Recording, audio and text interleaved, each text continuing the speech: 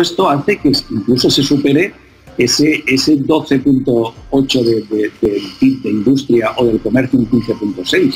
Entonces, eh, yo creo que también es un estilo, y Susana en alguna ocasión lo habíamos comentado, tenemos un valor a nivel de la marca España que a veces los españoles no le damos todo el, valor, no, no, no, ejercemos musculatura. ¿no? Hay una entrevista eh, que nos ha ayudado mucho al sector, que es del premio Nobel Phil Finland, el premio Nobel de Economía del año 2004, que trabaja como asesor de la Reserva Federal Americana, que eh, en una entrevista parecida a un medio como La Vanguardia de Luisa Miguel, manifiesta y viene a decir algo que a mí particularmente me, confesó en, una visita al rey Martín de Barcelona, me decía, Javier, pero es que vosotros, los españoles, no valoráis lo que tenéis. O sea, lo que para otros es una ingeniería como, como identificación de valor de, marca de país, eh, industrias farmacéuticas, tecnológicas. Vosotros tenéis en la restauración, en el estilo de vida vuestro, en vuestros bares y restaurantes, un signo de identidad, de valor, a nivel de marca España.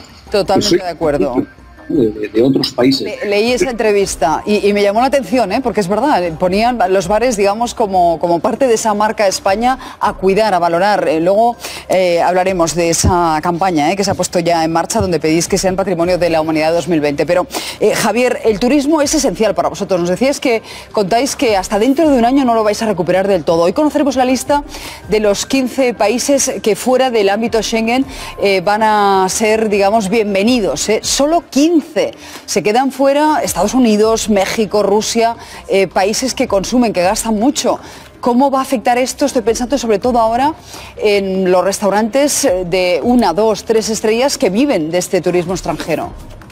Bueno, es una situación realmente, yo diría, dramática. Eh, me conoces y sabes que yo soy una persona eh, muy positiva y posibilista. Intento buscar opciones, que es lo que desde desde esta plataforma de Juntos con la Hostelería estamos propiciando. Eh, eh, tú participas en esta campaña de, Patrimonio 2020, que agradecemos enormemente, y eh, lo que intentamos es insuflar contenidos que sirvan para esos bares y restaurantes donde obviamente la gente que depende en gran medida, como son esos restaurantes de, tres estrellas, dos estrellas Michelin, eh, más en esa situación de gastronomía muy, muy especial, muy singular, dependen en, porcentajes del 80 o el 90%. Entonces, eh, ahí, por ejemplo, Xavier que comentaba hacia esa pregunta, oye, los que dependemos de, turistas, ¿qué, ¿qué, medidas podemos hacer?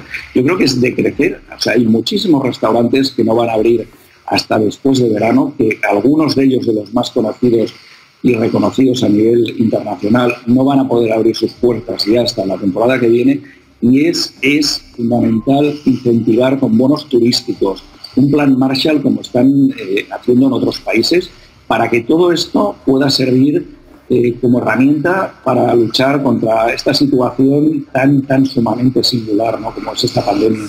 Entonces el turismo es el elemento clave, o sea, la hotelería, los viajes, todo esto es fundamental. Y, ahora además, si me permites, eh, Susana, hay un aspecto muy importante, que es que hasta ahora hay una serie de colectivos, como, sois vosotros los periodistas, con vuestro soporte, vuestro trabajo, la gente de equipos sanitarios, de, de, de alimentación, ¿no? supermercados, gracias, que habéis llevado el testigo para insuflar no solamente ánimo, sino, sino soporte eh, de verdad a toda la, la sociedad, a los ciudadanos. En este momento...